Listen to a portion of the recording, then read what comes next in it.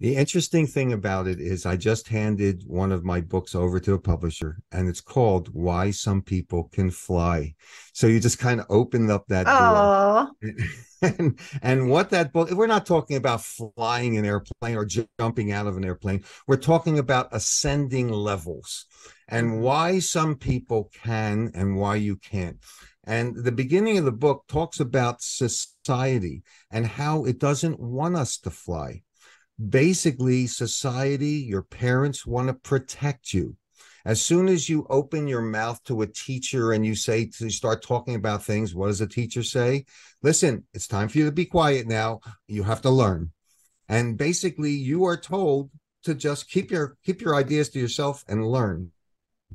And we go through life learning and there's nothing wrong with learning but as soon as we start talking about our ideas people want to do exactly what you said travis. They want to protect us.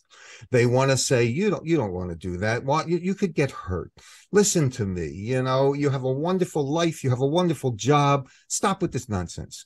Or they can't understand exactly what you said. They can't understand your passion and your drive. They can't wrap their head around the idea you're telling them because it's not their idea, it's your idea.